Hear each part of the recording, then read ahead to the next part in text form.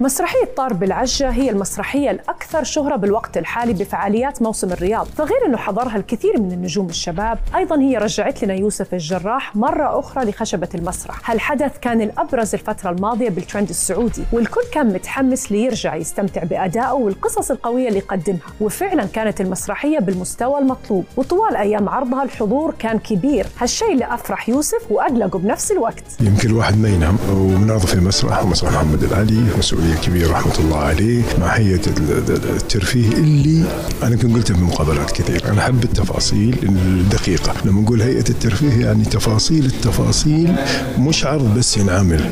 كل اللي موجود خلف كواليسها برجالهم بشبابهم الممتازين الرائعين بأمانة والله العظيم. وهذا كان رأي يوسف الجراح بالمجهود الكبير اللي شافه بموسم الرياض خاصة على صعيد المسرح خلال تواجده لتقديم مسرحية طار بالعجة اللي كانت السبب لتراجع عن اعتزاله بشكل مؤقت. خمس سنين وأبغى وقفتك اليوم. محتاج وقفتك اليوم. سلف ما عندي من الآخر يا حبيبي. خلطنا كذا خلطة حلوة مع بعض إنه نبغى نخلي العالم وهي جاية تستمتع. وبنشوفه بهالعمل إلى جانب نخبة كبيرة من نجوم المسرح مثل عبد الله عسيري اللي كان جدا سعيد بهالتجربة. والله شوفي المسرحية تجهيزات الحقيقة على مستوى عالي. عامر حمود هذا عمل عمل جبار.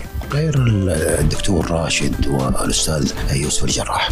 عمل رهيب وحيكون مفاجأة حيكون مفاجأة للجميع حقيقة يعني. وبالفعل ومن أول ما تم عرض هالمسرحية الكل كان مبهور بكل التفاصيل وعبر الجمهور عن هالشيء من خلال تغريدات مختلفة خاصة إنها مسرحية كوميدية بامتياز وبتناقش فكرة واقعية قال لنا عنها أكثر راشد الشمراني. هي مسرحية عالمية عن شخص تقريبا أقرب للكومبارس يعني يشتغل في مسرح مع فرقة مسرحية عامل نظافة ويبيع وكذا. ويوم العرض المسرحي يصاب بطل المسرحية يعني بعارض صحي ما يقدر يعرض فيضطر مدير الفرقة أنه يستعين بهذا الرجل اللي هو عايش معهم ويحفظ الحوارات وكذا باعتباره عايش في المسرح يعني.